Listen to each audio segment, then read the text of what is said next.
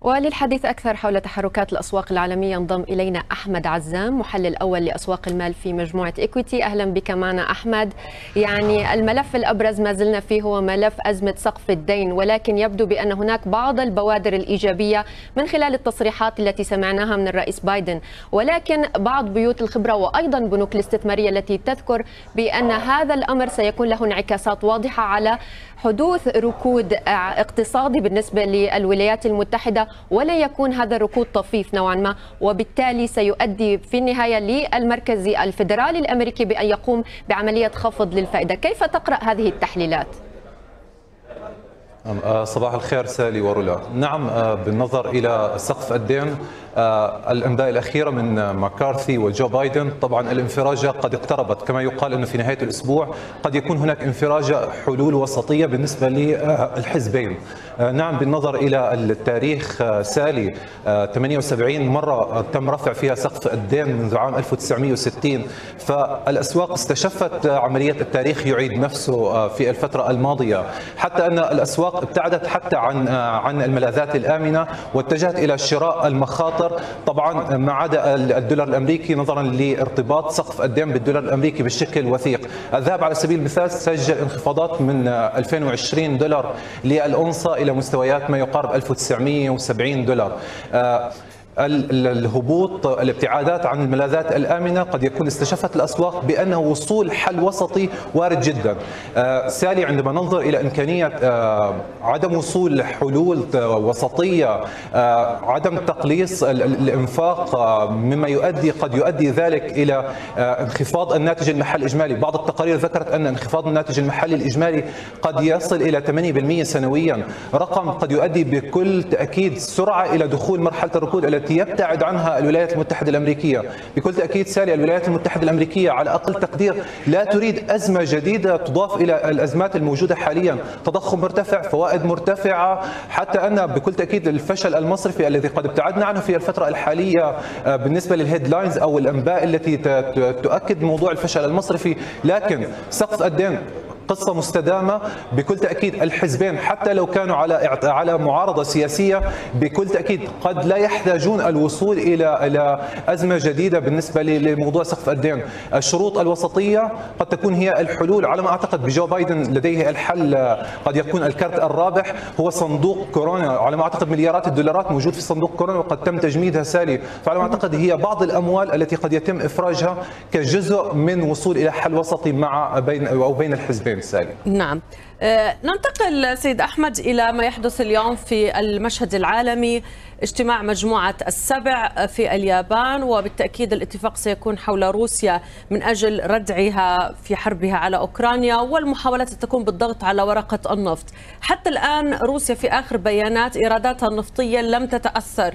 هذا دليل على أنها تبيع أسعار نفطها بالسعر الذي ترغب فيه والذي تجده عادلا.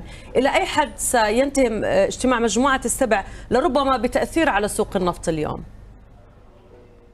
نعم رولا بالنظر إلى الأوضاع الأخيرة بالنسبة للنفط فعملية أخذ والعطاء لحد الآن مستمرة في في أسواق النفط. روسيا من جهة أمريكا حتى في الفترة الماضية وزيرة الطاقة قد صرحت بأن العودة لشراء المخزون الاستراتيجي بالنسبة للنفط آه، واردة منذ بداية شهر 6 فعلى ما أعتقد أن أمريكا قد مدت يد بطريقة أو بأخرى لذكر أن آه، عمليات الشراء بالنسبة للمخزون النفط آه، الاستراتيجي واردة في الفترة القادمة. فلما يتم عمليات عمليات تخفيض الإنتاج بالنسبة لمنظمة أوبك. فعلى ما أعتقد هي واحدة من الأساليب التي تتجه فيها الولايات المتحدة الأمريكية للضغط أكثر على منظمة أوبك.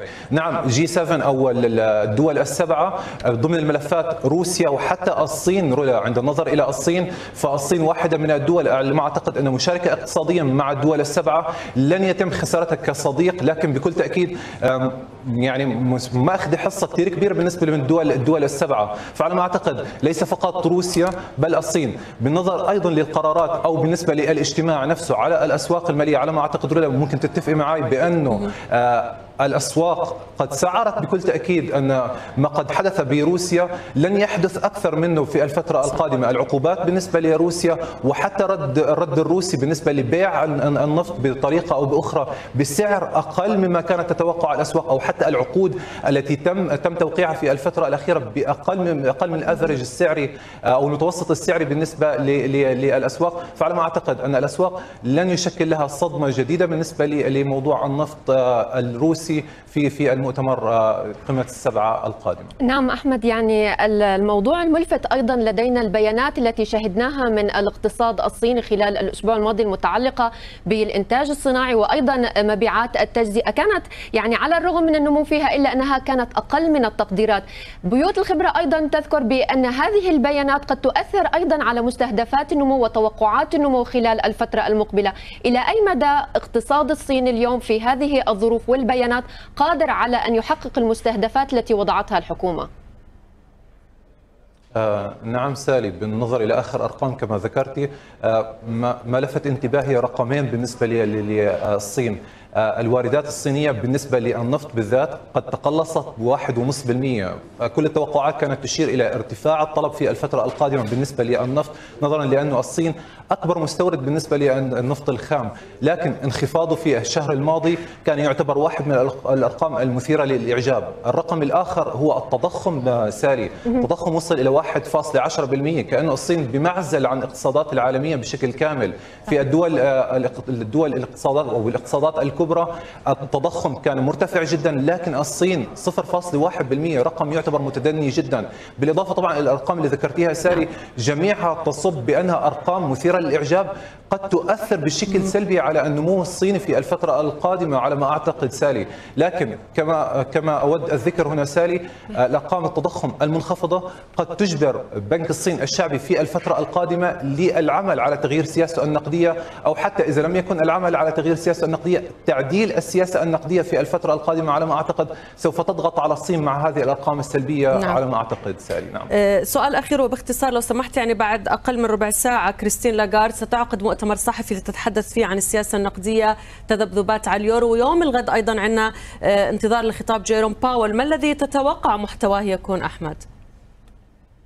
نعم آه، كريستين لاغارد على ما أعتقد لخصت آه، في مؤتمرها الصحفي الأخير قالت إن التضخم لا يزال مرتفع، العمل على تخفيض التضخم هو الهدف الأساسي، رفع أسعار الفائدة على ما أعتقد هو الأساس بالنسبة حاليا لبنك أوروبا، على النقيض من هذا الكلام جيرام باول بالغد لديه ندوة أيضا آه، طبعا عنوانها أيضا السياسة النقدية على ما أعتقد أن السياسة النقدية قد يكون هناك بعض الاختلاف بين الفدرالي الأمريكي وبنك اوروبي شكرا جزيلا لك ضيفنا السيد أحمد عزام محلل أول لأسواق المال في مجموعة إكويتي.